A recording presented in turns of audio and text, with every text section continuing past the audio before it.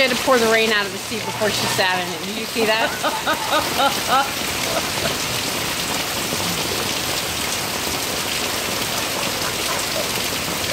I guess we are raising feral children.